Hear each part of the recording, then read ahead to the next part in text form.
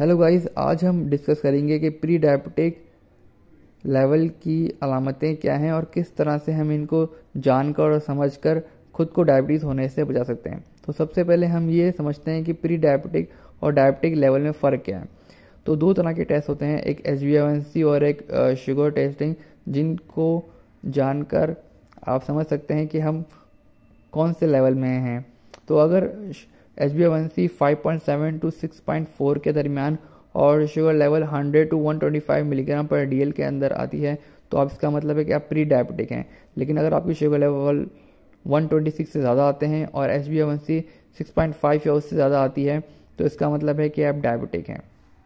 On average एक human being thirty one teaspoon per day sugar consume करता है। लेकिन आपको जान के हैरत होगी कि हमारे ब्लड के अंदर सिर्फ़ वन टीस्पून, यानी कि 18 मिलीग्राम पर डीएल तक ही जो है वो शुगर उसको मेंटेन और कंपलसेट कर पाता है।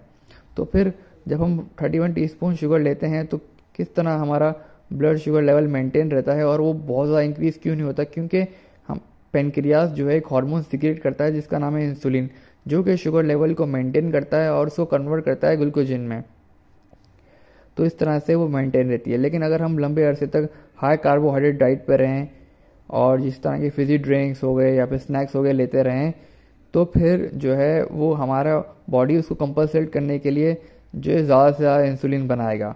और जिस तरह से शुगर हमारे लेवल बॉडी के लिए जो है वो टॉक्सिक है, उसी तरह से हाई लेवल ऑफ़ इंसुलिन भी जो टॉक्सिक है। ज़ाहिर सी बात है, अगर आप कोई भी चीज़ हाई लेवल पे लेंगे तो वो जो है वो बॉडी के लिए अच्छी नहीं होगी तो चाहे वो शुगर हो या इंसुलिन हो। तो जब ज़्यादा बॉडी इंसुलिन प्रोड्यूस कर रही होती है तो उसमें जो है वो इंसुलिन रेजिस्टेंस आ जाता है। फिर इसको कंपलसेट करने के लिए बॉडी ज़्यादा इंसुलिन बना रही होती है, क्योंकि जो है शुगर लेवल तो जो है वो आपको मेंटेन करने पड़ते हैं। तो ये बैलेंस का जो सिलसिला जो है वो 10 से 15 साल जो है वो चल रहा होता है। लेकिन उसके बाद जो है पेनक्रियाज जो है वो एग्जॉस्ट हो जाते हैं और वो इंसुलिन जो है लेवल उस तरह से नहीं बना रहे होते इस तरह से इंसुलिन प्रोडक्शन में डिक्रीज आ जाता है। तो फिर इंसुलिन रेजिस्टेंस के 10 से 15 साल आने के बाद प्री डायबिटिक स्टेज आ जाती है।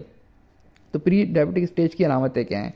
प्री डायबिटिक स्टेज की अलामतें हैं फ्रीक्वेंट यूरिनेशन या, यानी कि ज़्यादा से ज़्यादा पेशाब आना हंगर ज़्यादा से भूख लगना थ्रस होती है, ज़्यादा से प्यास लगना फटी थोड़ी बहुत सीढ़ियाँ चलने के बाद आप थक जाते हैं लोअर लेग पेन होता है आपको वज़न कम होना शुरू हो जाता है आपके जो सोने के पैटर्न में और स्ट्रेस लेवल में भी जो है वो फ़र्क आ जाता है। आपको क्रेविंग होती है कार्बोहाइड्रेट जो है वो जिस तरह के ज़्यादा ड्रिंक्स फिजी ड्रिंक्स लेने की, आपके शुगर लेवल जो है भी, वो भी जो है वो डाउन होने लगते हैं।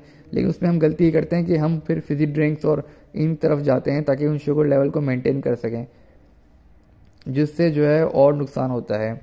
तो यही मशवरा है कि अगर ऐसी कोई अलामतें हैं तो फ़ौरनी शुगर टेस्ट करवाना चाहिए, पता चल सके कि आप किस कैटेगरी के अंदर आते हैं और फ़ौरनी डॉक्टर से जो है वो रिव्यू करना चाहिए और अपनी डाइट को सुधारना चाहिए। अगर आप अपनी डाइट में कार्बोहाइड्रेट लेवल कट करेंगे और इंटरमीडियट फास्टिंग भी तहकीक से पता चला है कि आजकल जो है बहुत ही असर अंदाज करता है शुगर लेवल को मेंटेन करने में।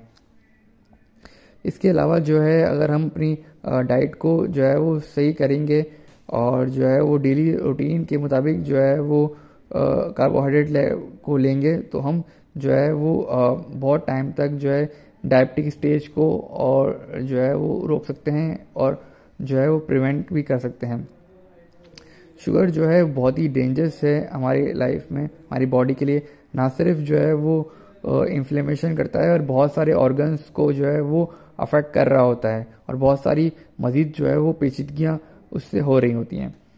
सो गाइस प्लीज़ जो है वो अगर इस लेवल या ऐसी अलामतें आने के बाद अपने डॉक्टर से ज़रूर रुजू करें। Thank you